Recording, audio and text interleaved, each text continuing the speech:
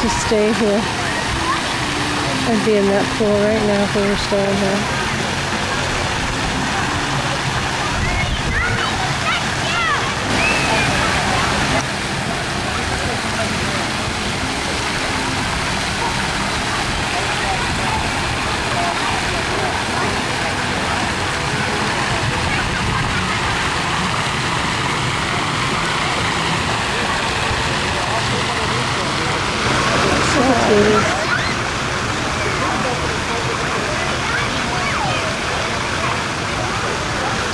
Trading.